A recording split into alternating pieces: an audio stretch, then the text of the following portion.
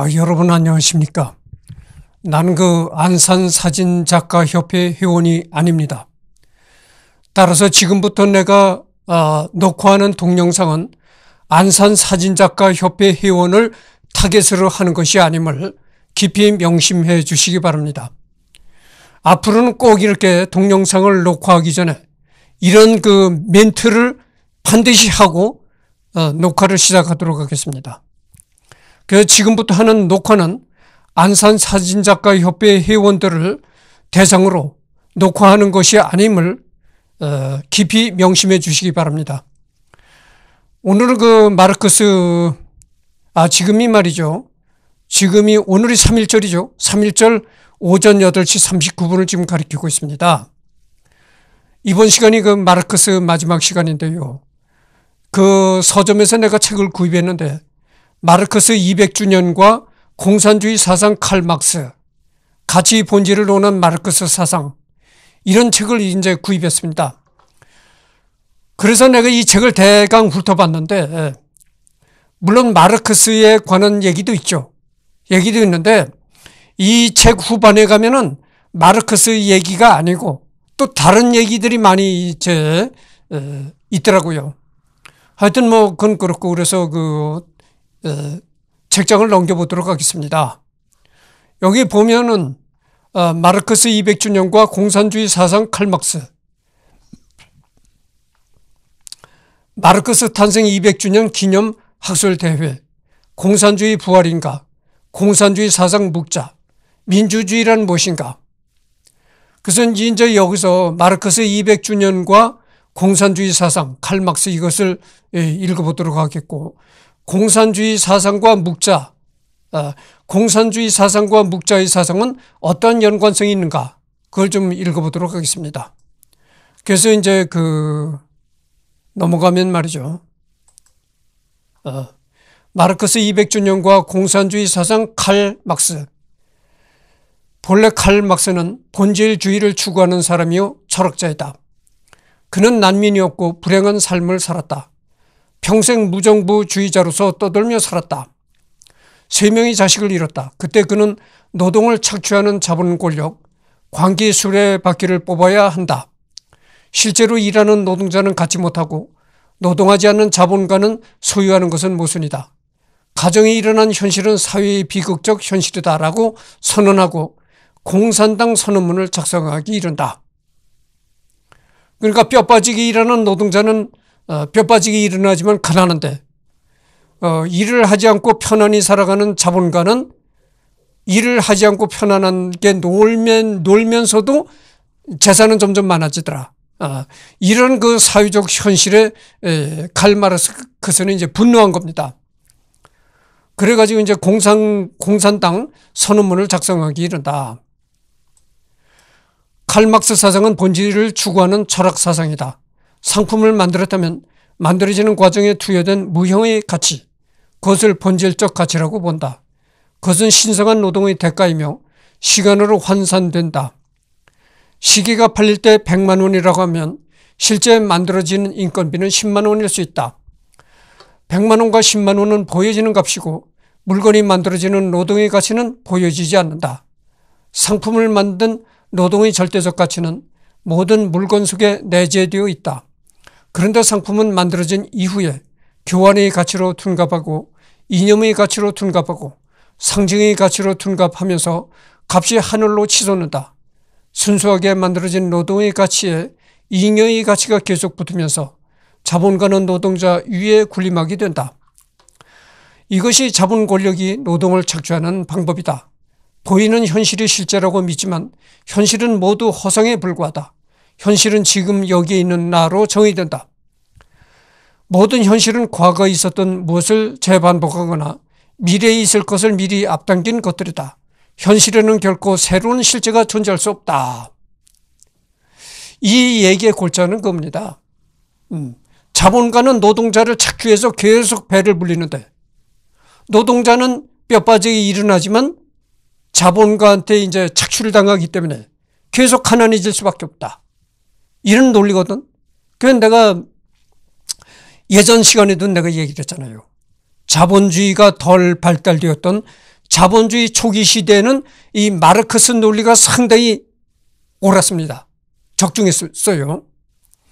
근데 이 자본주의가 발달함에 따라서 그런 폐단이, 폐단이 없어진 겁니다. 자본가가 노동자를 착취하는 그런 폐단이 없어진 거예요.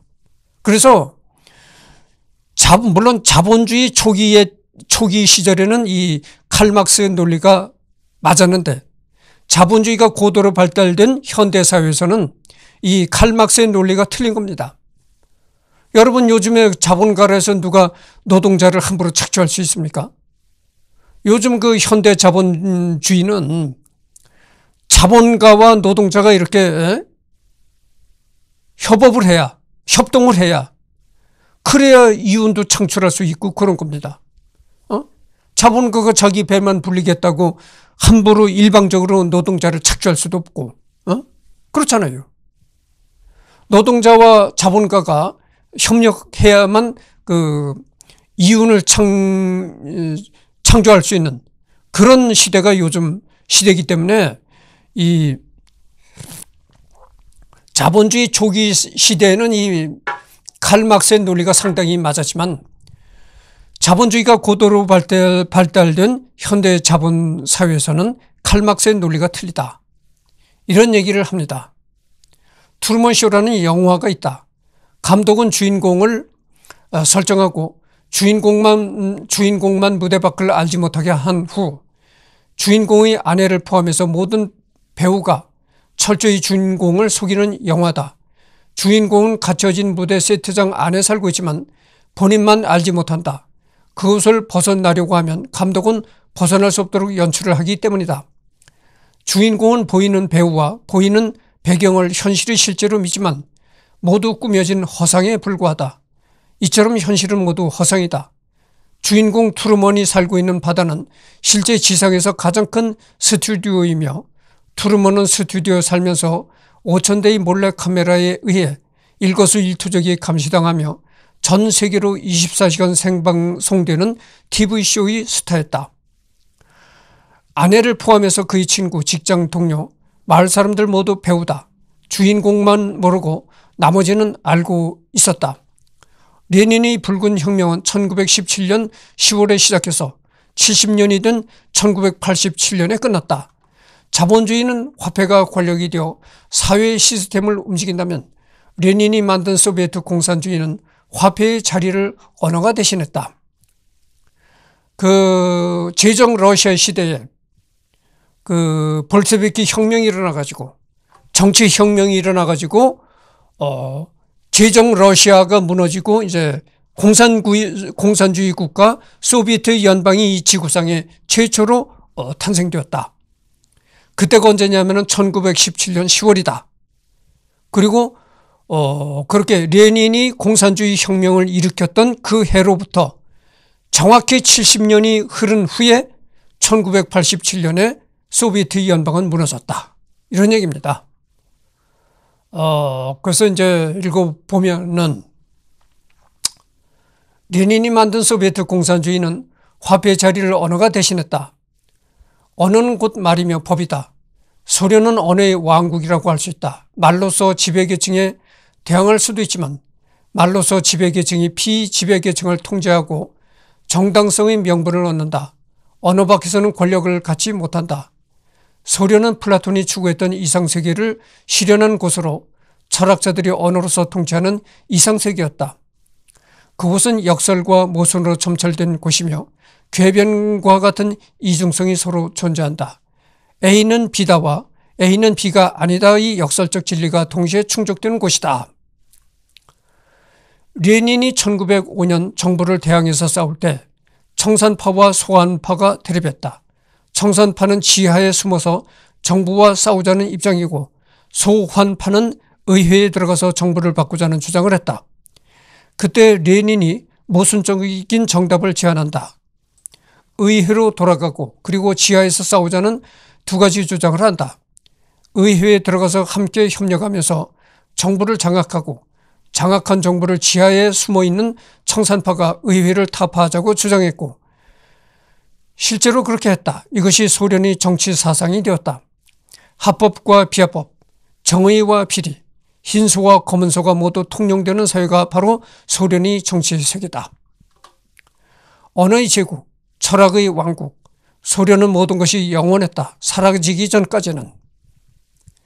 공산주의는 황제가 있다.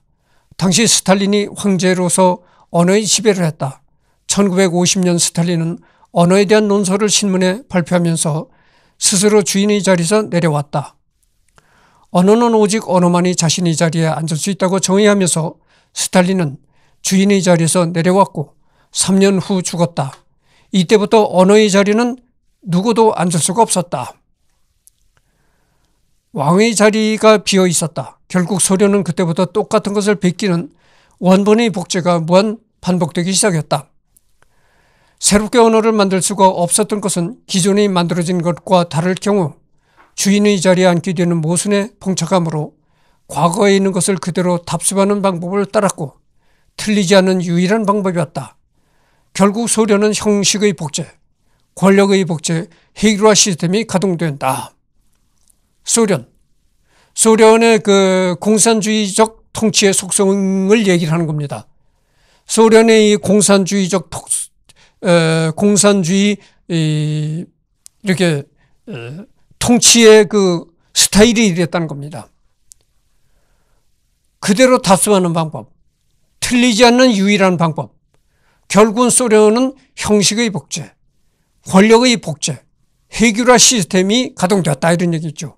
그러니까 이렇게 뭐 어, 그대로 답습하는 거, 어, 틀리지 않는 유일한 방법, 형식의 복제, 권력의 복제 이런 가운데서는 창의적인 그런 멘탈리티가 생길 수가 없는 것이죠. 창의적인 아이디어가 생길 수가 없는 겁니다. 그러니까 뭐 어, 현실을 그대로 어, 어 달달달 외는 거, 어, 뭐 그런 식이 되는 거죠. 오로지 레닌과 스탈린을 영웅시하는 거, 이제 그거다, 그죠. 투표, 어, 투표라는 게 있긴 있었죠. 아니, 소련 공산주의도 투표를 했습니다. 지금 북한도 투표를 하잖아요. 투표를 하는데 그 투표가 어떻게 된 겁니까? 어. 지금 북한에도 투, 선거를 하는데 입후보 한 사람은 없고 오로지 입후보 한 사람은 김정은이 하나뿐이죠. 이제 김정은이 하나만 하나를 두고 찬성이냐 반대냐 이거를 표를 던지는 거예요. 어, 찬성이냐 반대냐. 근데 거기서 누가 반대표를 찍어서 투표할 수가 없는 겁니다. 아니 사방에서 감시하고 이렇게 이렇게 총을 숨기고 이렇게 겨누고 있는데 반대 투표를 던졌다가는 쥐도 새도 모르게 죽는 것이죠. 그러니까 뭐 울며 겨자 먹기로 싫으나 좋으나 김정은이 찬성할 수밖에 없다. 그래서 뭐 북한에는 북한에도 투표가 있는데 이 부부 하는 사람은 오로지 김정은이 하나요. 투표를 해도 100% 100% 김정은이 찬성이 나온다. 이런 얘기입니다.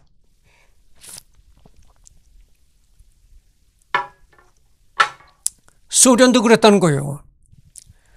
그러니까 투표라는 건 어? 하나의 그 요식 행위다 그죠. 형식적인 행위에 불과한 거다. 투표를 하러 가면 소련 시민들은 투표장에 모여서 투표를 합니다라고 하면 모두 고개를 숙이고서 자신이 가져간 책을 읽었다. 그러니까 투표를 기다리면서 이제 모두 자기가 가져간 책을 투표장에 들어가기 전에 줄을 서서 읽었다는 겁니다. 너무나 그 이제 그러니까 후보자의 연설을 들을 필요가 없는 것이 자신들이 결정할 수 없기 때문이다. 그리고 투표를 결정합니다. 라고 하면 모두 동시에 손을 번쩍 들었다. 단일 후보라서 그렇다. 그렇죠. 이것이 소련의 현실이다. 근데 오늘날 러시아를 보면 어떻습니까? 이때는 그 후보가 단 한 사람뿐이었다고 하죠. 어? 공산주의 소련에서는 후보가 단 한 사람뿐이었었는데 요즘 러시아는 그래도 뭐 어, 허, 허울상으로 민주국가라고 하잖아요. 그러나 러시아가 진, 진정한 민주국가입니다. 아니, 아니잖아요. 허울은 민주주의 국가라고 하면서 실제 운영되는 모습을 보면은 옛 공산주의 시설과 아주 흡사하게 운영을 한다고 하죠. 지금도 이 러시아 대통령 선거에 보면은 여러 후보들이 난립을 합니다. 난립은 하지만 여러 후보들이 많이 그 입후보는 하지만 이게 뭐냐? 다 딜러리들이다 이거죠. 어.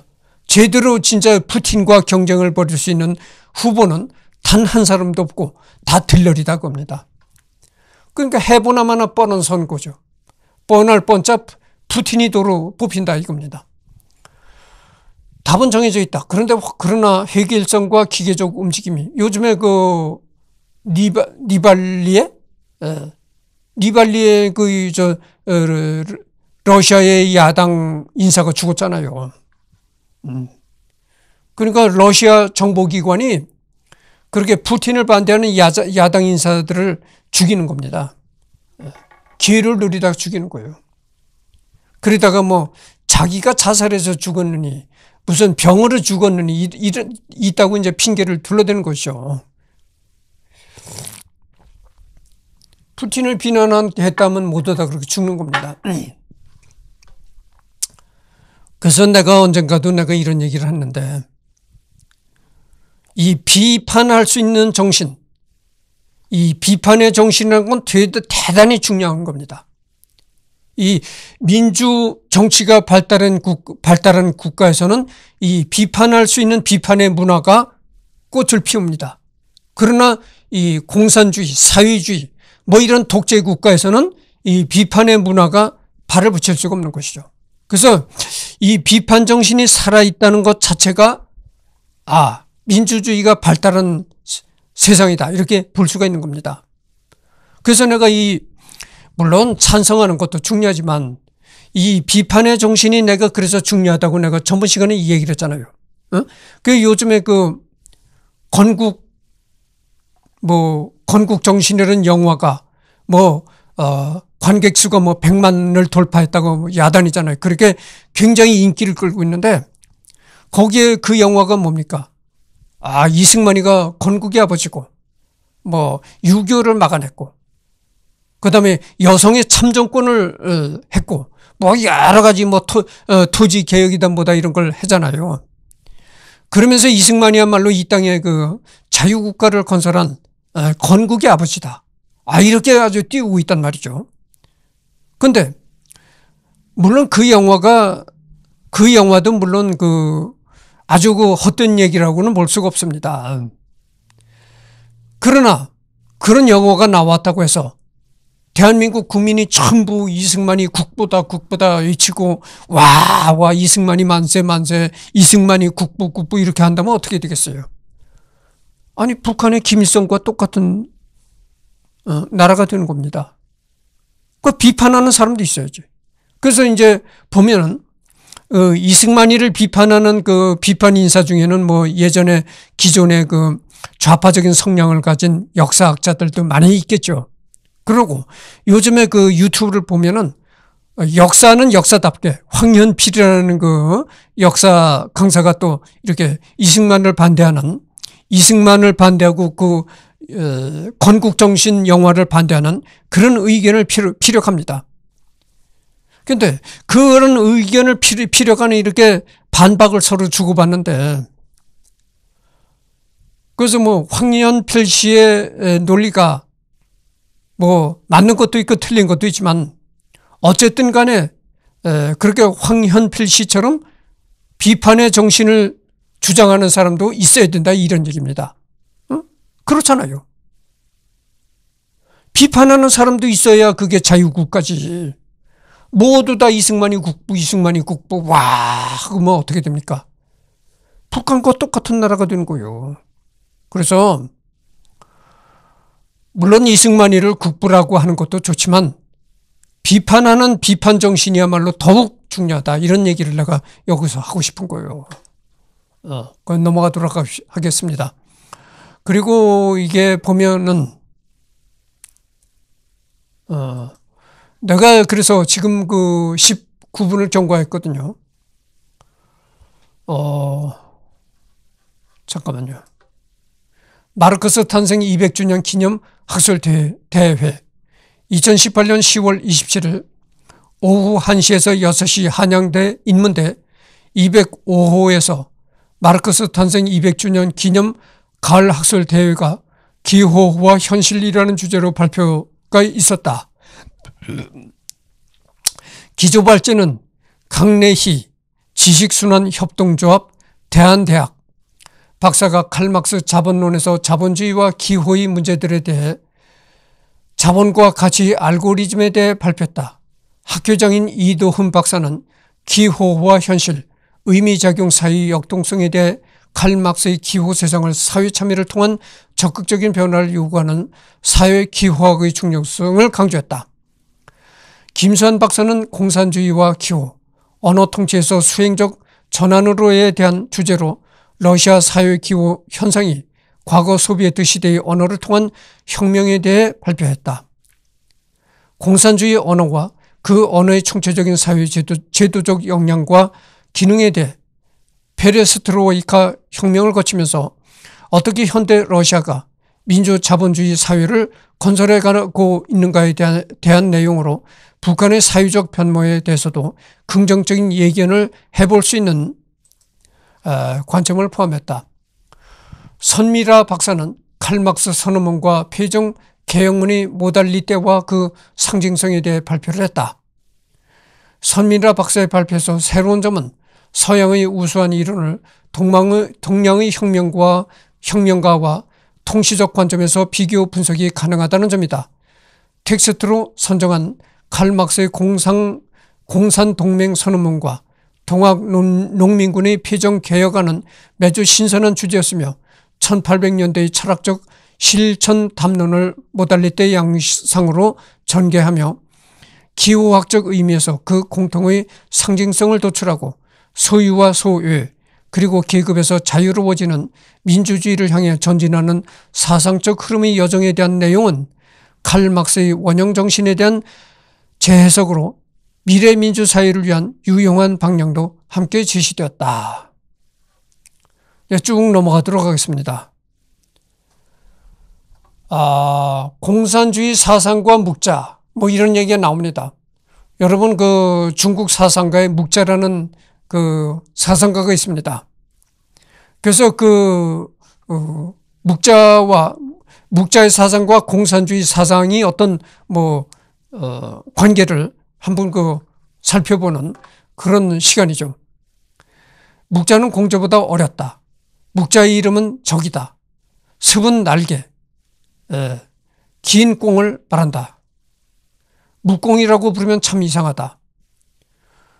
그러면 그, 이 적자를 보면은, 에, 습, 에, 날개, 그, 거기에다가, 어, 날개 부수, 그 다음에 꽁을 말한다. 뭐 이렇게 이제 한문을 파자하는 것이요. 어. 묵공이라고 부르면 참 이상하다. 요즘은 놀릴 때 돼지 같다. 개새끼, 새대가리, 뱀새끼, 불려시라고 동물로 부르는데 옛날에도 이름에 동물을 그대로 사용했다. 하기사 12시간, 12시간도 동물들로 줄을 세웠으니 할 말은 없다. 12시간이라는 게 그거잖아요. 뭐, 어, 쥐띠, 뭐, 소띠 이런 걸. 어. 묵은 먹을 말한다. 검은 검을 흙과 흙토가 합쳐졌다. 흙으로 만들어서 검은색을 만드는 것이 바로 먹이다. 어, 흙은 또 형벌에 사용되었다. 검은 먹물로 이마와 팔에 문신을 새겨서 주홍 글씨를 표시하는데 사용되었다. 묵은 먹물과 잉크를 뜻한다. 묵이 있으니 묵자는 일단 공부를 상당히 잘했던 인물이고 각각 다식했을 것이다. 묵자사성은 공산주의 색채가 짙다. 모두 함께 더불어 잘 살 수 있는 길은 서로 화목하게 나눔 활동을 하면서 공동체를 이루는 것이라고 묵자는 주장한다. 그러니까 이 중국의 사상가 묵자가 주장하는 것을 보면은 이 공산주의 사상과 아주 그 일맥상통한 그런 주장을 묵자는 했던 것입니다.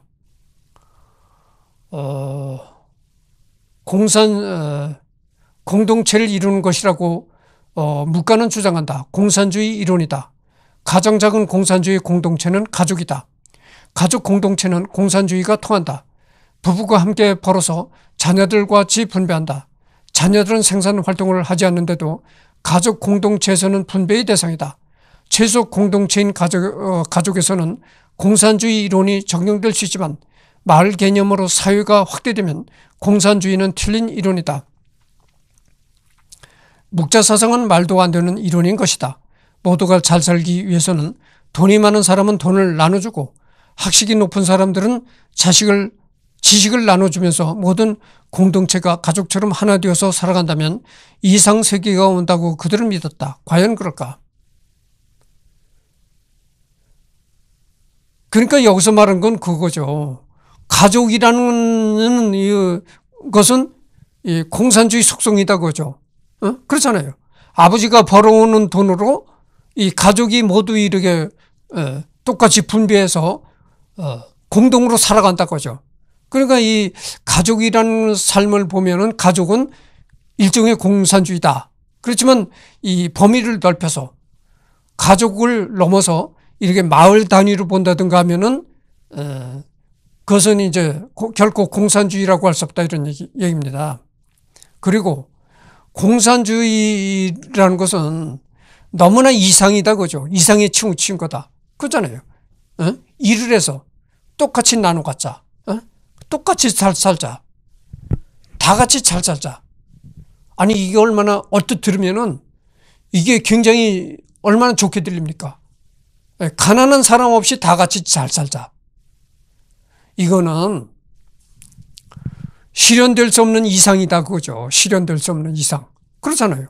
인간 세상이라는 게 어? 능력이 뛰어난 사람도 있고 능력이 좀 못 되는 사람도 있고 어? 그렇잖아요. 그런데 똑같이 일해서 똑같이 나눠 갖자. 다 같이 잘 살자. 이것은 그 이상일 뿐이지 될 수가 없다고 하죠. 사람이라는 건 개개인의 이 능력의 차이가 있는데 능력의 차이라는 걸 무시하고 어?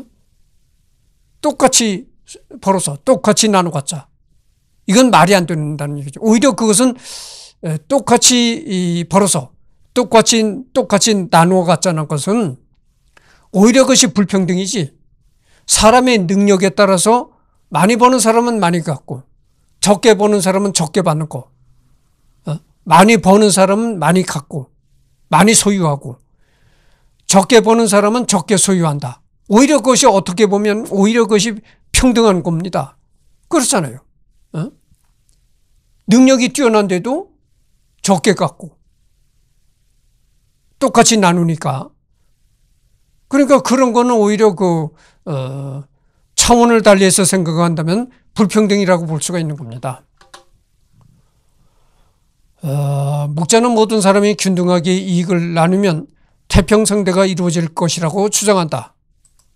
균등하게 나눈다는 것의 의미가 도대체 뭘까? 빵 하나도 균등하게 나눌 수가 없는데 균등을 사용하는 것이 틀린 이론이다. 묵자가 초나라와 송나라의 전쟁을 막아낸 우화를 보면 묵가사상의 단면을 엿볼 수 있다. 초나라가 아, 높은 사다리를 만들어서 송나라를 공격한다는 뉴스가 전해졌다. 사령관으로 노반이 임명됐다고 듣자마자 묵자는 노반을 당장 만났다. 묵자, 송나라를 공격하지 마시오. 그렇게 얘기를 하니까 노반, 임금의 명령이요. 그렇게 얘기하니까 또 묵자가 이웃 나라끼리 싸우지 맙시다. 노반, 허허허허. 사령관에게 다잡고자 전쟁하지 말자고 요청하는 묵자에게 노반은 할 말이 없었다. 묵자는 초나라 왕을 아련하고 노반 사령관이 운제를 만들어서 송나라 성곽을 침략한다는 것을 이미 알고서 이미 저희 제자 300명이 운제의 방어용 기구를 설치하고 공격을 학수고대하고 있습니다. 공격한다고 해도 결코 송나라 성은 함락할 수 없을 것입니다. 라고 말한다. 초나라 왕은 이 말을 듣고 공격을 취소했다. 육아사상을 가진 인물들은 이렇게 엄청난 사건을 해냈다면 당장의 송나라 조정으로 달려가서 전쟁은 없을 것이다. 외교력을 발휘해서 협상 테이블을 마련했다면서 정치적 입지를 다졌을 것이다. 그러나 묵자는 자랑도 하지 않고 자신이 측근에게만 말하고 끝났다. 오히려 송나라로 돌아오는 길에 비가 내렸는데 성문을 지키던 병사가 묵자를 쫓아버렸다. 우산을 챙겨가지 못한 묵자는 옷이 흠뻑 젖어서 몸살 감기로 고생했다고 한다. 묵자는 공산주의 이론에 기반한 종교 집단이다. 더불어서 모두 함께 나누면서 가족처럼 어,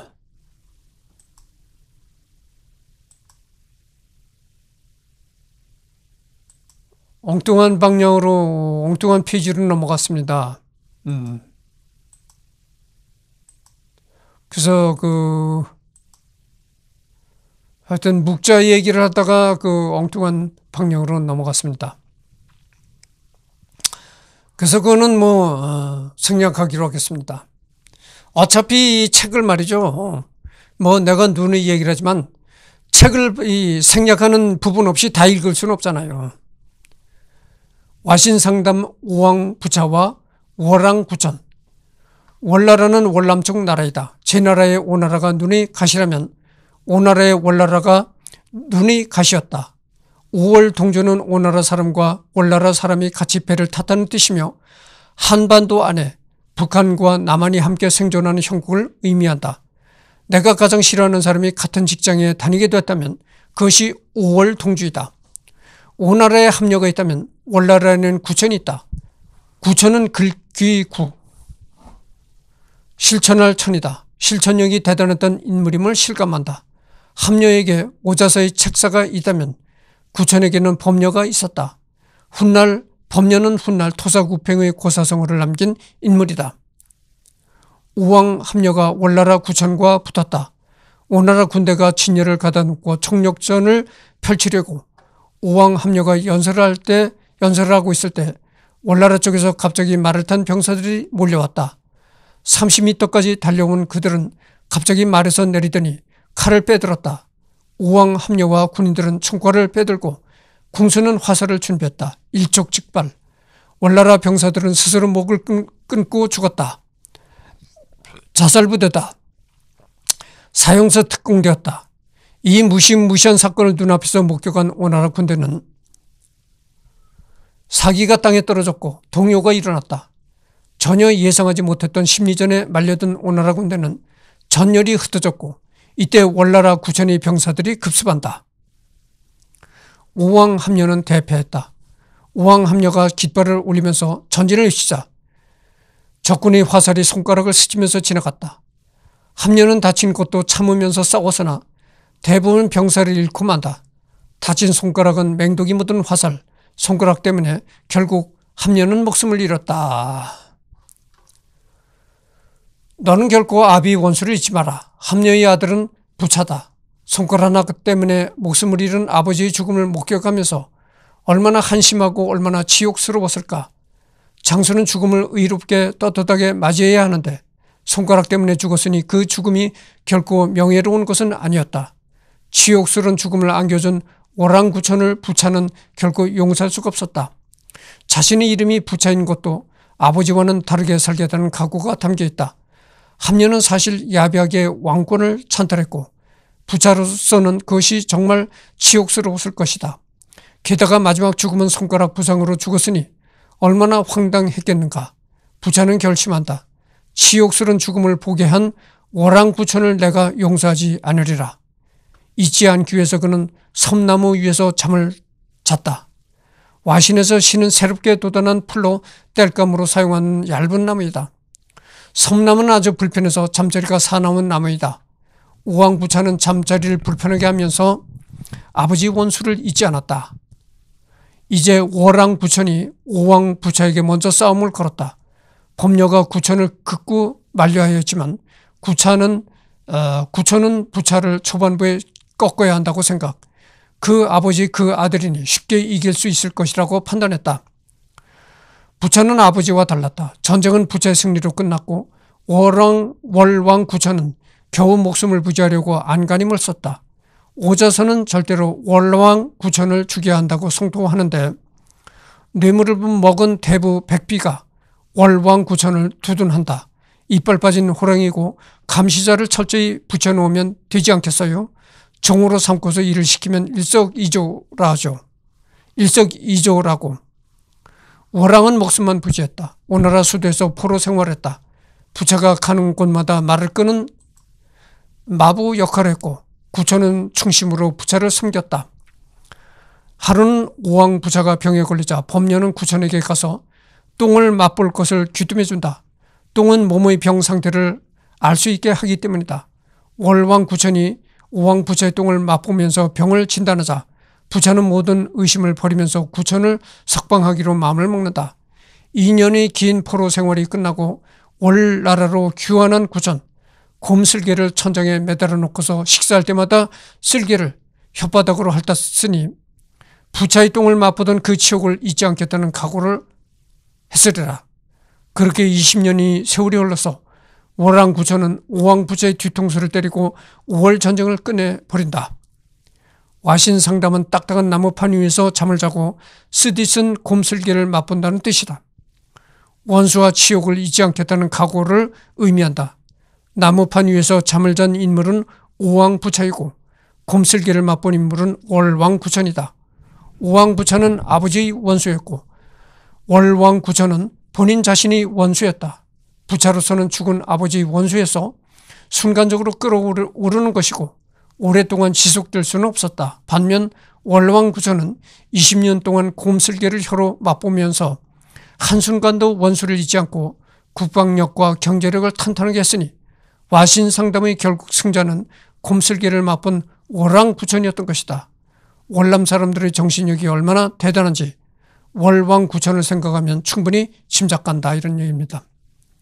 여러분 그 와신 상담이라는 그 사자 성어가 있잖아요. 이게 와신 상담이라는 사자 성어의 뜻이 겁니다. 딱딱한 나무 판 위에서 이제 잠을 자고 스디슨 곰슬개를 맛본다. 어. 이렇게 그 역경을 맛보면서 역경을 체험하면서 각오를 단단히 한다 이겁니다. 어.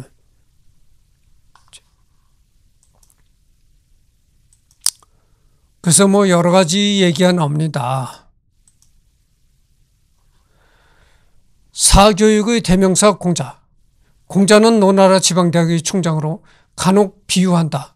지방대학 총장의 직위는 상당히 높다. 공자가 과연 지방대학 총장에 올랐을까? 후세 사람들이 공자를 좋게 포장하려고 그렇게 비유한 것이고 배운 것은 많고 할 일은 없으니 학원을 차렸던 것이다. 근데 그게 대박이 났다. 강남권 어, 유명 학원 원장이 된 것이다.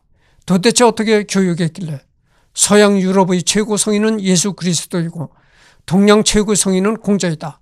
중국의 땅덩어리가 워낙에 크다 보니 단수결 원칙으로 중국의 성인이 동양의 성인일 수밖에 없다. 공장의 공자의 이름은 구였다. 공구가 공자를 부르는 정식 이름이다. 이 공자의 이름은 공자의 정, 원래 이름은 공구라는 겁니다. 공구.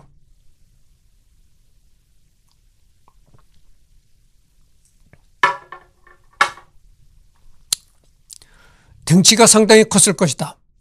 언덕구가 사용된 것을 볼 때 그렇다. 이 공구. 그러니까 이름이 한자죠. 어.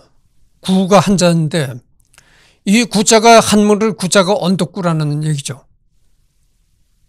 그러니까 사람 치구가 언덕을 보는 것과 같이 그런, 그런 느낌을 갖게 한다. 이런 얘기거든. 그러니까 이 공자가 덩치가 상당히 컸을 것으로 이렇게 짐작을 한다는 거죠. 그래서 그, 지금은 뭐 180이 넘는 사람도 많지만 이 공자가 살았던, 살았던 시대는 이 공자가 살았던 시대는 기원전 시대잖아요. 이 기원전 시대는 이 사람이 중국 사람도 그랬어요. 옛날에는 그 서양 사람도 지금보다 작았었고, 옛날에는 사람들이 작았단 말이죠. 그래서 이 180이 넘는 사람들이 상당히 드물었어요. 그러니까 지금으로 말을 하면은 아마 그 공자의 체격이 180이 넘는 그런 최고였던 것으로 생각이 듭니다. 왜냐하면 말이죠. 주목센 놈이 왕초다 이런 얘기를 했잖아요. 현대 국가는 현대 국가는 제도가 잘, 잘 갖춰져 있고 이 법치 국가라는 얘기를 하잖아요. 이 법이 잘 갖춰져 있고 이렇기 때문에 주목센 놈이 왕초 노릇을 할 수가 없는 겁니다. 그렇지만 여러분 생각해 보세요. 기원전 시대는 지금으로부터 뭐 한 3천년 전에는 정말 호랑이 담배 피우던 시절, 시절이다 그거죠. 그러니까 그때는 뭐 국가가 있고, 아니, 물론 그때도 국가는 있었죠. 국가가 있고 왕은 있었지만 그런 그 치안이 얼마나 뭐 허술했겠어요. 지금, 지금과 같이 뭐 이 경찰, 그 다음에 검찰, 뭐 이렇게 이 법치기가 완전히 아주 잘 갖춰진 것도 아니고. 그러니까 센 놈이 이제 왕천으로 살은 거야. 항시. 주먹 세고 덩치 큰 놈이. 그러니까, 어, 이 남자들 세계에서는 말이죠. 남자들 세계에서는 이 최고, 최고가 자꾸 이런, 이런 사람도 돈이 많거나 권력이 있으면 남이 야쁘지를 못해요. 근데 돈도 없고 권력도 없으면서 체구까지 작다. 이러면 남이 야쁩니다. 음. 남이, 남이 야빠요.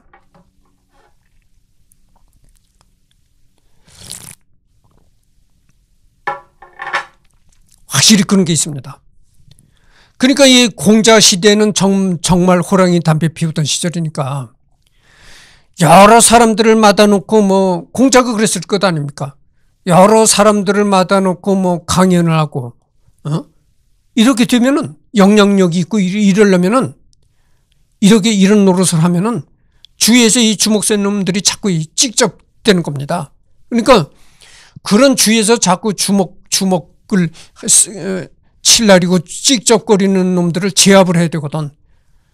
그런 놈들을 이 꺾을 수 있어 있어야 다수의 관중들을 상대로 앞에 나가 설 수가 있는 겁니다. 그러니까 이 공자도 체격이 당당했다고 볼 수밖에 없는 겁니다. 여러분, 내가 또 얘기를 합니다만은 사진작가 협회라는 단체도 그래요.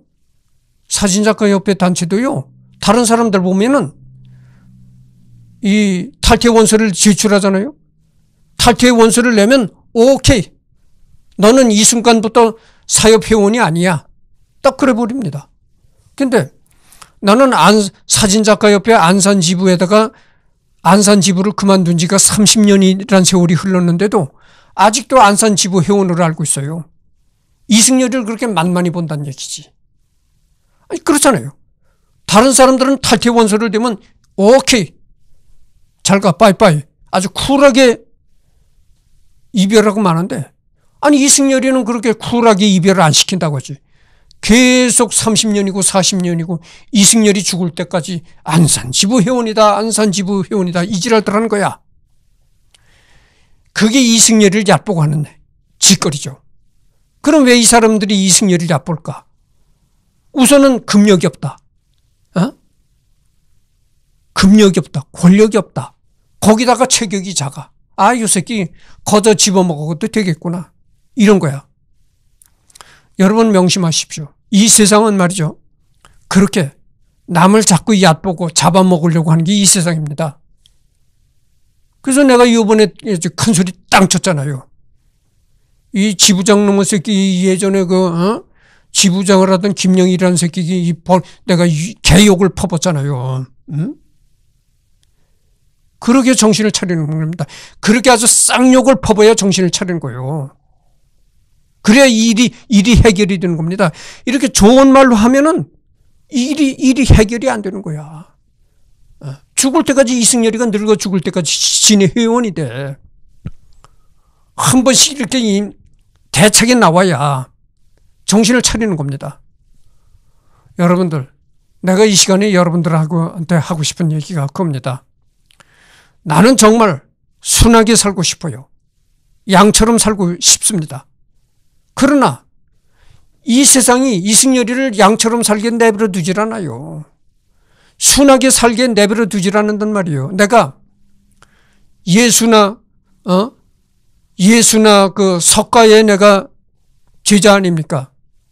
아, 예수나 석가의 제자는 어떻게 살아야 되죠? 양순하게 살아야 된다. 순하게 살아야 된다 이겁니다. 그래서 나는 예수나 그 석가의 제자라서 참 싫은 말 안 하고 어? 순하게 살고 이러려고 하는데 그렇게 이 세상이 순하게 살게 양처럼 살게 내버려 두질 않는다 이 말이에요. 아니 입 다물고 조용히 좀 음, 얌전히 있으면은 아 저 사람이 참 어? 얌전하고 점잖은 사람이야. 아 이렇게 생각을 해서 정당한 그걸 해지. 입 다물고 얌전하게 있으면, 아, 저 새끼 병신으로거나 이렇게 한단 말이죠. 그렇잖아요, 여러분들. 세상이 그렇단 말이죠. 입 다물고 이렇게 좀 점잖이 앉아 있으면은 아, 저 사람이 참 그, 어? 괜찮은 사람이다. 이렇게 알아야 되는데 입 다물고 가만히 얌전, 저 점잔을 빼고 앉았으면 아, 저 새끼 호구로구나. 저 새끼 병신이로구나. 잡아먹으려고 한단 말이죠. 그러니까 이, 이 사회가, 어? 순하게 살고, 순하게 살고 싶어도 순하게 살게 내버려 두질 않는다, 이 말이에요. 그래서 내가 여러, 내, 이, 처음에도 얘기했지만, 앞으로 내가 하는 유튜브는 꼭 이 동영상을 시작할 때 언제나 이 얘기를 할 겁니다. 나는 안산사진작가협회 회원이 아닙니다. 이 동영상은 안산사진작가협회 회원들을 타겟으로 하는 것이 아닙니다. 이런 말을 언제나 멘트를 깔고 시작을 할 겁니다. 그래서 하여튼 지금 46분을 경고했거든요. 거의 이제 50분을 향해서 다가가는데 하여튼 그 마르크스는 완전히 끝났습니다. 끝나고 여러분 그 바늘 가는데 실이 안 갈 수가 있느냐 이런 말 있잖아요. 바늘과 실. 이 바늘과 실은 항시 붙어 다녀야 할 수밖에 없는 숙명이죠. 여러분 바, 실이 없는 바늘이 무슨 소용이 있겠습니까? 바늘이 있으면 반드시 실이 따라가야 한다 그죠. 그래서 그런 차원에서 마르크스 얘기를 하면은 반드시 엥겔스를 또 붙여야 하는 겁니다. 마르크스 얘기를 하면서 엥겔스 얘기 안 나오면 안 되는 거예요. 그러니까 마르크스는 다 끝났고 다음에는 엥겔스를 하도록 하겠습니다.